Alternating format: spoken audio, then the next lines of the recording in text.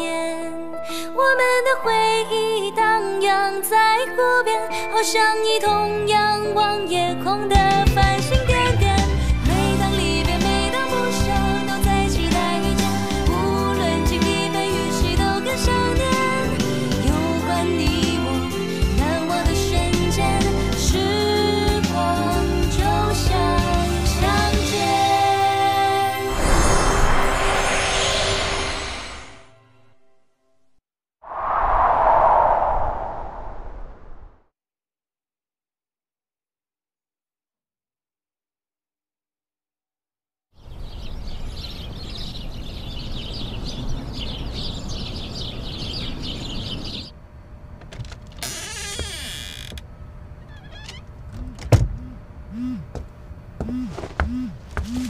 起来，起来！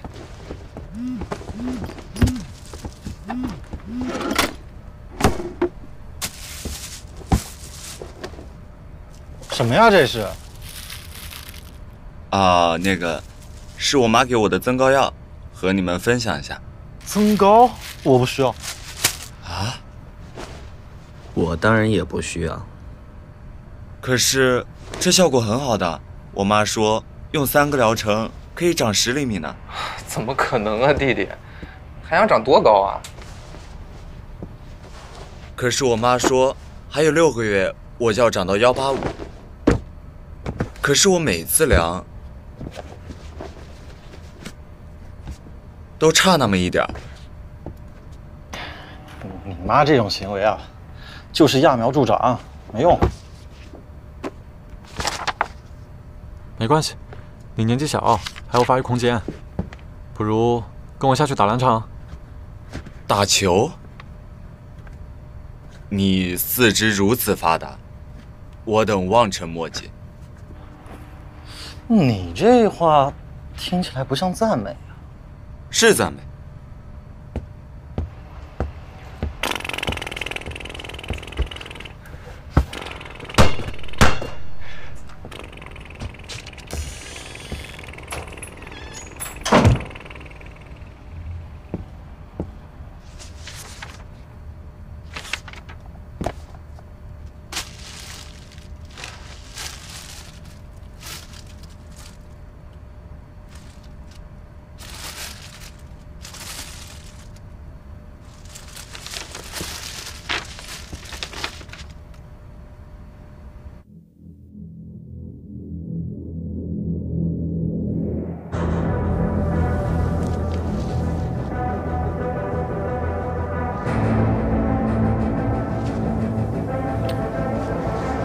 算命的说，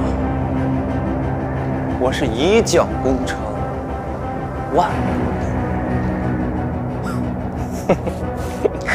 可是我不相信，我认为出来混的，是生是死，都由我自己决定。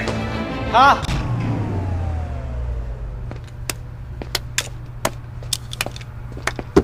看看，看看，层次分明，感情丰沛，霸气侧漏。待会儿一模一样的，来一段。哎哎，导导演导演，那您看能不能给我一个有有对白的角色呀？下来讲话。啊，对不起，不好意思。呃导演，您看咱这戏缺不缺特约演员？就是有有有几句词儿就行，我我都都可以。年轻人，不是我不给你机会，剧组经费有限，没有那个条件让你一直站在苹果箱上面演戏。啊，道具费劲不说，摄影师也是要加钱的。啊。哎，导演，呃，您不是还挺满意我的表演的吗？刚才。实话跟你讲吧，啊，你这身高啊，在表演上面的的确确是个硬伤。把戏服给他。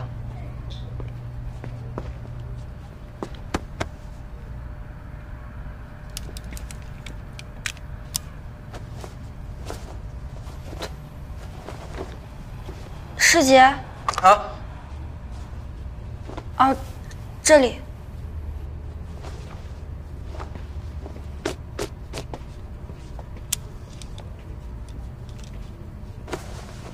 嗯你怎么在这儿？谢谢。我来帮他们拍几张花絮照，没想到能碰到你。嗯，挺巧的，刚好我也收工了。嗯，发型不错。啊，这这他们给我弄的。哎，要不你等我收拾一下，咱们一块儿回去吧。好。行，那我那我去那边收拾。好。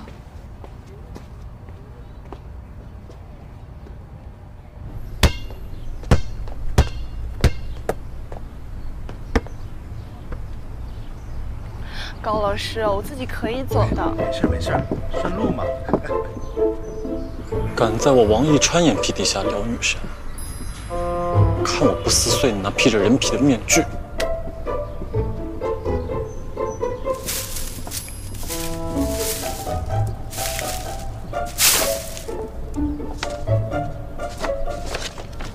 还不错。走走走。白姐姐。高老师，你们也在啊？好巧啊！王一川，你下午没有课吗？嗯，没有啊。今天天气挺不错的，我就出来锻炼锻炼。哎，热不热？你看我这个风有没有大自然的感觉？王一川，花花草草也是有生命的，好吧？要爱护它，保护它。哎，白姐姐，你渴不渴？我帮你买瓶水吧。嘿，我这有啊，喝，刚开的。王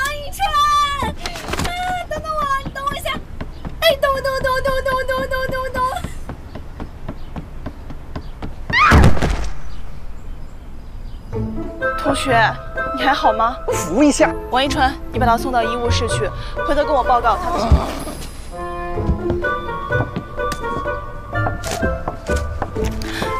你你你，都怪你！你你你你你什么你？我很痛的好吗？那你跟着我干嘛？我就是看到你跟人打个招呼。那拜托你下次打招呼之前看着点，别坏我好事。哎，刚刚那样很卑微，好吗？你懂啥？我那叫勇敢。要不，勇敢的男士，你把我这位女士送到医务室好吗？来来来来来。哎呀呀呀，痛轻啊！哎，轻点给我。球你拿着。拿着。哎呦，痛痛痛痛，小心点啊！哎，都叫你小心点。每次都是我背你，那下次我背你呗。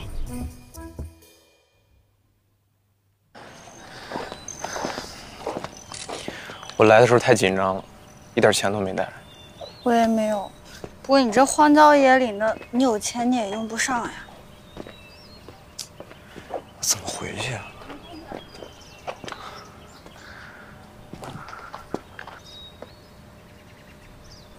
哎，嗯，我倒是有一个办法，嗯，但是得委屈你一下。啊？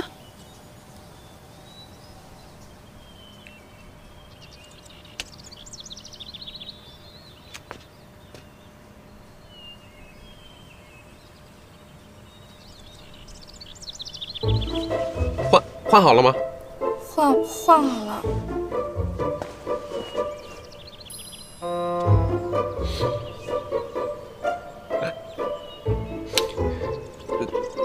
特别好，啊，咱俩一会儿这样啊，一会儿我我我我说我说词儿，然后你演就行。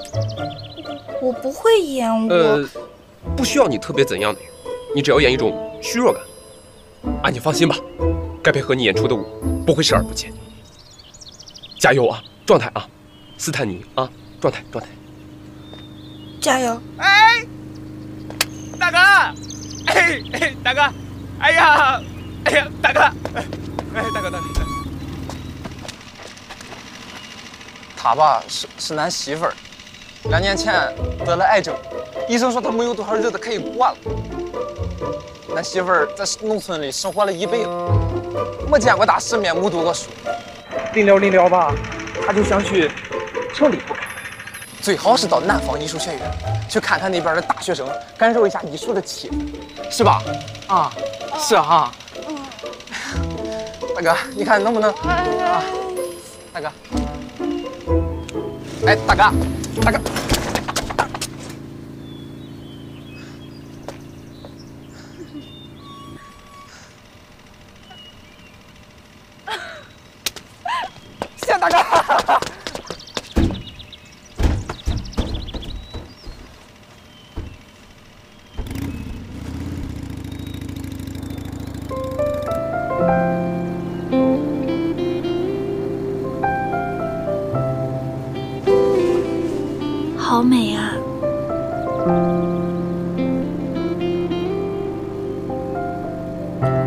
摄影机真是一个不错的发明啊！电影的出现才炫酷呢。还有一位导演说过，电影发明之后，人类的寿命至少延长了三倍。哪个导演说的？嗯好像是詹姆斯·卡梅隆。不是他吧？哎，他的《泰坦尼克号》你喜欢吗？喜欢。You jump, I jump。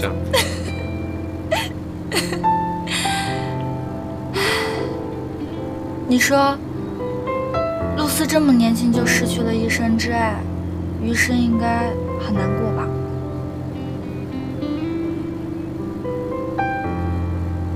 不会。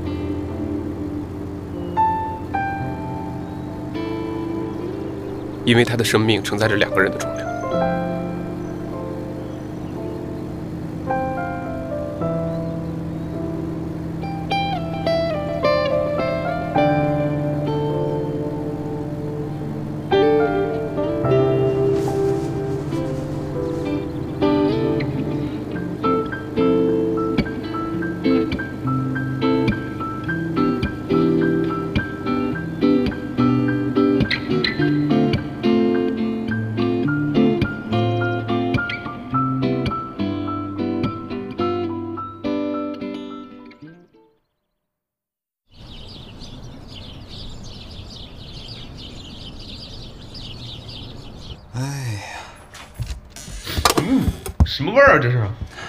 师姐是你呀，吓我一跳。你煮的什么呀？就我妈上次给我的草药呀，增高用的，增高。师姐，师姐，啊，姐姐，嗯，这股味真大，真难闻哈。不过你放心，这肯定不是我们宿舍的。不信你看。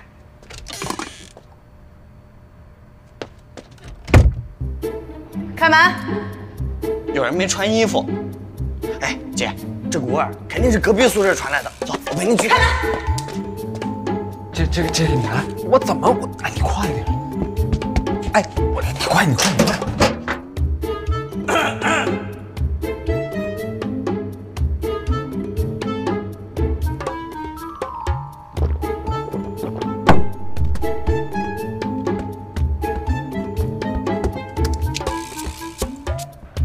们进去了啊。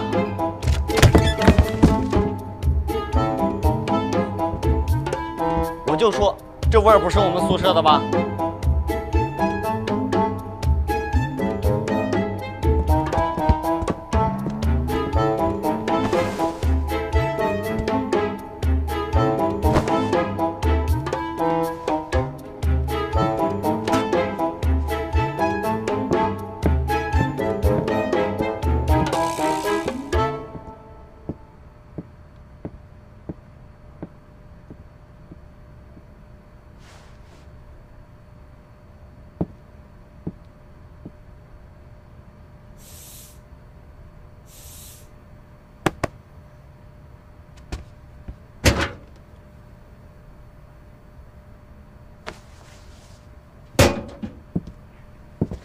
这么臭，这么硬，还不赶快拿去洗了？行行行，保证完成。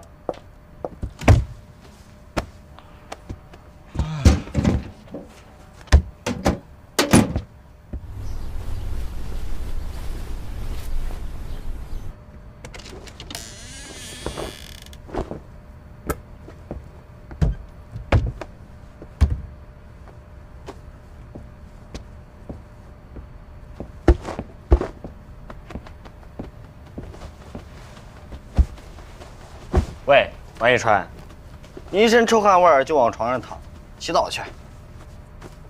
我已经没有力气洗澡了，谁来帮帮我？是去工地搬砖了，还是去挖下水道去了？我，你到底怎么了？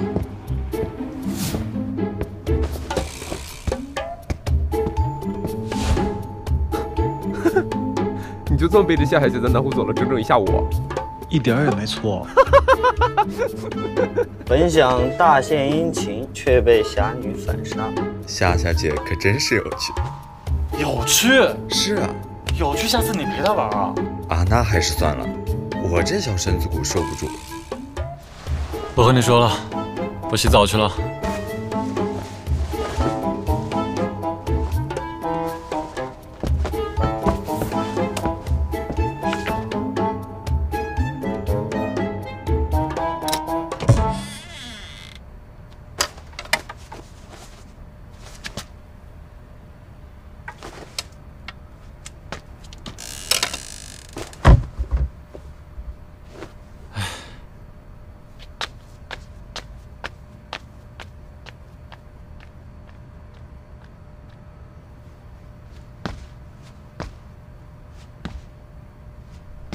王一川，校园霸凌是会上新闻的。别废话，脱脱脱，都给我脱了啊！可我还是个孩子呀，十六岁，你放过我吧。不就是一条破内裤吗？至于这么大惊小怪的吗？你懂啥呀？我那条内裤不是普通内裤，它气质独特，独一无二。王一川，我们连你内裤长什么样都没见过，好吗？说得好，我的内裤，首先从颜色上看，它象征着九五之尊，帝王之气。它不是单纯的橘色，也不是橙色，它是明黄色。在我内裤上有好多卡通人物，它不是天线宝宝，也不是花园宝宝，它是海绵宝宝。你们没有？那就由我东哥为你们简单的总结一下吧。这就是一条整体为黄色的，上面有海绵宝宝的内裤而已。对对对对对，没错没错。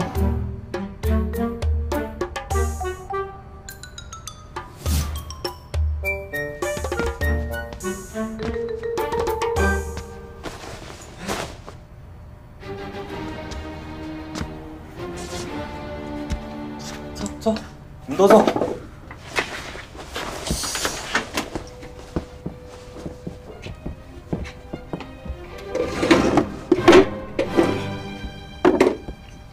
在本案开庭之前，根据目前所获得的线索，以及本人根据线索做出的推断，真相只有一个。目前看来，咱们四个人的内裤都是一模一样的，可你们仨的都在。就我那条不见了。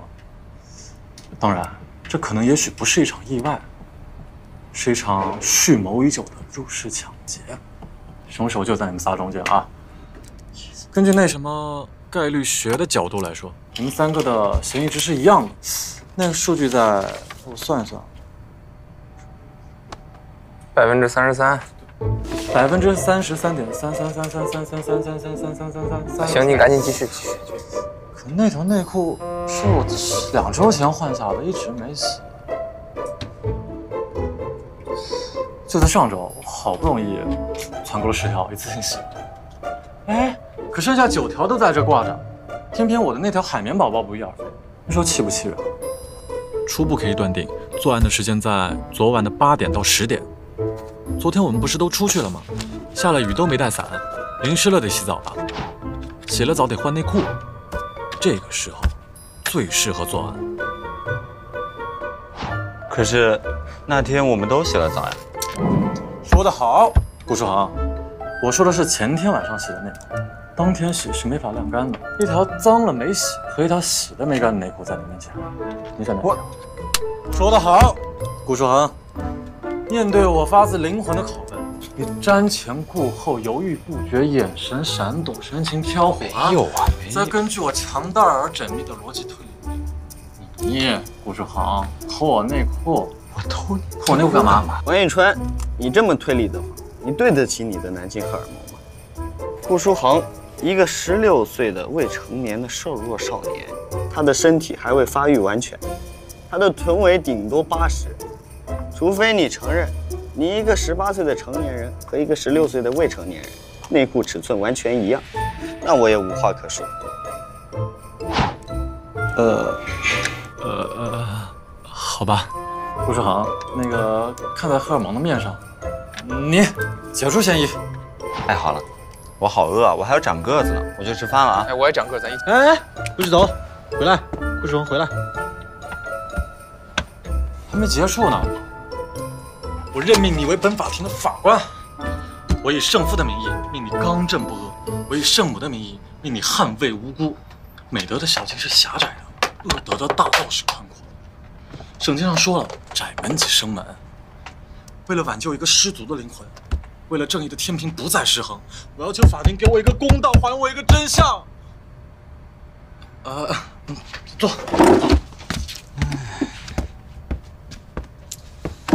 不是，王一川，你什么时候扒的这些台词啊？王一川把今生为数不多的高光时刻都贡献给金条。哎，都行了啊，那现在开庭。传原告王一川，被告甲陈东东，被告乙段世杰庭外等候。法官大人，我知我都知道，都知道。那现在我们来讲讲自己的内裤是怎么来的吧。法官请。我，我当然是买的了。谁买的呀？我妈买的。坏了，我也是。前女友。前女友。同一个世界，你俩还同一前女友呢？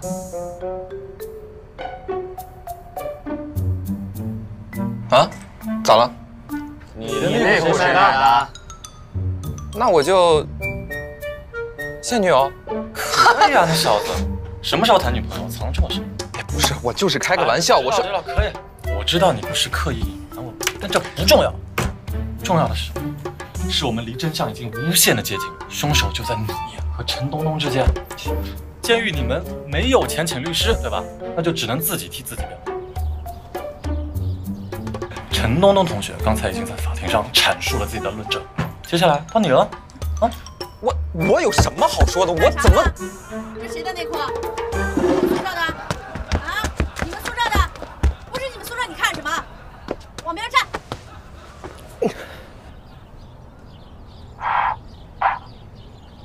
谁的内裤？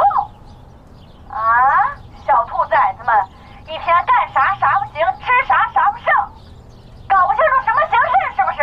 啊，这要让学校领导看见怎么办？让女同学看见怎么办？下来认领。唉。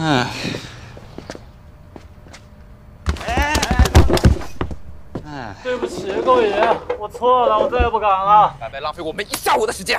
啊，又被扒衣服，又被审判的，你说怎么办？最主要的是不让我吃饭长高。那要怎样你们才能放过我啊？给我洗一个月的袜子，洗一个月内裤。那我一个月洗脚水。不，二十天。不，三十天。二十五天，二十五天。四十天。不行，三十五天。哎哎，三十五天啊，成交，成交。哎呀，松开，松。嗯。哎哎哎，师姐，师姐，他怎么了？怎么了？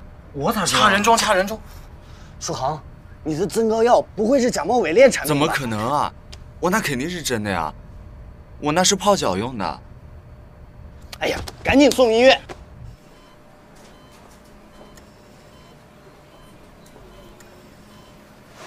什么？食物中毒？都怪你，没事瞎折腾什么？不是增高草药这种东西，他段世杰也敢随便喝啊？那本来就是煮来泡脚的。聊什么呢？哎，乔然，你来了。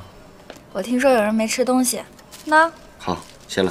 哎，先等等，我觉得在这种情况下你也吃不下，小弟就帮你吃了吧。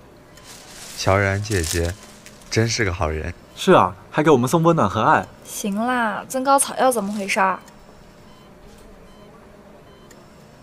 以后不要再乱吃东西了好好休息吧。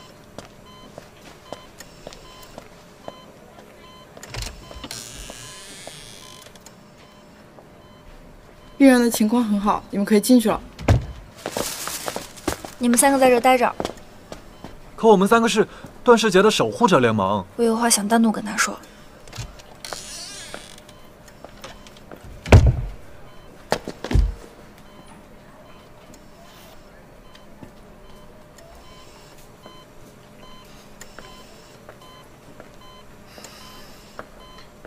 好点了吗？你怎么来了？段世杰，嗯，我从小就不是一个漂亮女孩可是女孩子都是爱美的，你知道吗？我以前就为了变美找过很多很多的方法，然后我记得有一次不知道从哪找了个偏方，我用了之后肿得跟猪头一样大。我那时候特别伤心，哭着问我妈：“我说妈，我为什么不漂亮？”我妈说：“乔然，你知道，星空之所以美丽，是因为每颗星星都是独一无二的。人也是一样，因为你是独一无二的。”后来。我发现，只要我昂首挺胸、面带笑容、从容淡定的时候，我就是人群中最漂亮的女孩。段世杰，你真的很幼稚。只有心智不全的人才会因为外表而做出伤害自己的事情。你有很多优点，可是你看不到，你根本不知道自己的优点到底是什么。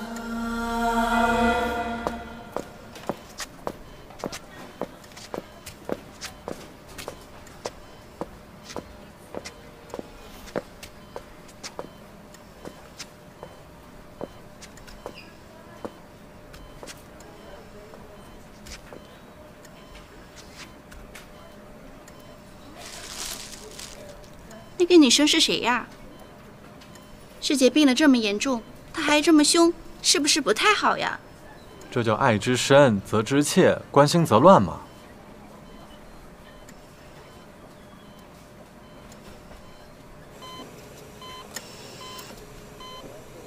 你好好想想吧，我先走了。别吵。在这干嘛呢？呃，打蚊子，这个医院蚊子太多了。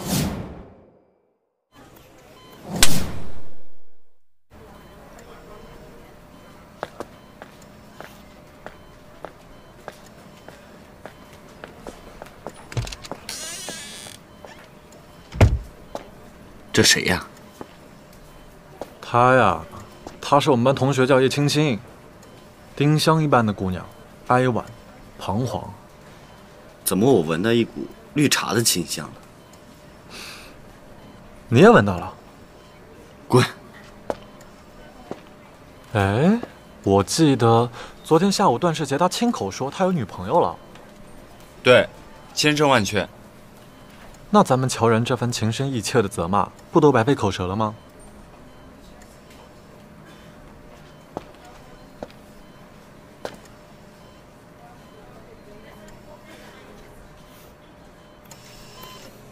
师姐，我听说你晕倒了，这是我亲手给你熬的鸡汤。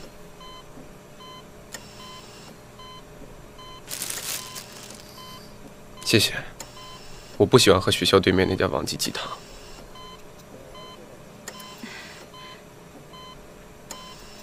师姐，刚才那个是你女朋友吧？虽然她说的话有点难听。